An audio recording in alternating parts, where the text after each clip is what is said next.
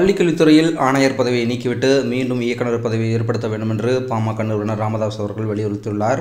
இதுகுறித்து அவர் இன்று வெளியிட்டுள்ள ட்விட்டர் பதிவில் தமிழ்நாடு பள்ளிக்கல்வி ஆணையர் பொறுப்பிலிருந்து நந்தகுமார் மாற்றப்பட்டதாலும் அந்த பொறுப்புக்கு இதுவரை வேறு எவரும் அமர்த்தப்படாததாலும் பள்ளிக்கல்வித்துறையில் ஆணையர் பதவி நீக்கப்பட்டு மீண்டும் இயக்குனர் பதவி ஏற்படுத்த இருப்பதாக கல்வியாளர்கள் ஆசிரியர்கள் மற்றும் மாணவரிடையே எதிர்பார்ப்பு எழுந்துள்ளதெனவும் அவர்களின் எதிர்பார்ப்பு நியாயமானது அது நிறைவேற்றப்பட வேண்டும் எனவும் தெரிவித்துள்ளார். மேலும் பள்ளிக்கல்வி இயக்குனர் பதவி கடந்த இரண்டாயிரத்தி இருபத்தி ஒன்றாம் ஆண்டு மே மாதம் நியமிக்கப்பட்டு அதன் பொறுப்புகள் அனைத்தும் பள்ளிக்கல்வி ஆணையரிடம் ஒப்படைக்கப்பட்ட போதே அதை பாட்டாளி மக்கள் கட்சி கடுமையாக எதிர்த்தது.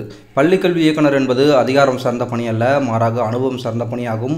சாதாரண ஆசிரியராக பணியை தொடங்கும் ஒருவர் மேல்நிலைப்பள்ளி தலைமை ஆசிரியர் மாவட்ட கல்வி அலுவலர் முதன்மை மாவட்ட கல்வி அலுவலர் பள்ளிக்கல்வி இணை இயக்குனர் பள்ளிக்கல்வி கூடுதல் இயக்குனர் என பல்வேறு பொறுப்புகளை சுமந்து அவர்கள் கிடைக்கும் அனுபவத்தை கொண்டுதான் பள்ளிக்கல்வி இயக்குனர் பொறுப்பை நிர்வகிக்க முடியும். அதிகாரிகளால் நிர்வகிக்க முடியாது என்று கூறியிருந்தேன். பள்ளிக்கல்வித்துறையில் கடந்த இரு ஆண்டுகளில் நடைபெற்ற பல குழப்பங்களுக்கு ஆணையரிடம் அதிகாரங்கள் ஒப்படைப்பட்டதும் ஒரு காரணமாகும்.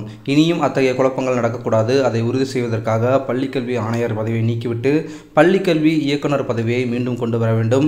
பள்ளிக்கல்வி இயக்குநரகத்தை நிர்வகிக்கும் பொறுப்பு இயக்குநருக்கு வழங்கப்பட வேண்டும். அந்த இடத்தில் அனுபவம் உள்ள நேர்மையான அதிகாரி அமர்த்தப்பட வேண்டும். பள்ளிக்கல்வி ஆணையர் நந்தகுமார் பணியிடம் மாற்றம் செய்யப்பட்டதைத் தொடர்ந்து அவர் கூடுதல் பொறுப்பாக கவனித்து வந்த ஆசிரியர் தேர்வு வாரிய தலைவர் பதவியும் காலியாக உள்ளது. கடந்த எட்டு மாதங்களாக ஆசிரியர் தேர்வு வாரியத்திற்கு முழு நேர தலைவர் இல்லாததால் வாரியம் முடங்கி கிடக்கிறது. எனவே ஆசிரியர் தேர்வு வாரியத்திற்கு உடனடியாக முழு நேர தலைவர் ஒருவரை நியமிக்க வேண்டும் என்று ராமதாஸ் அவர்கள் வலியுறுத்தியிருக்காரு.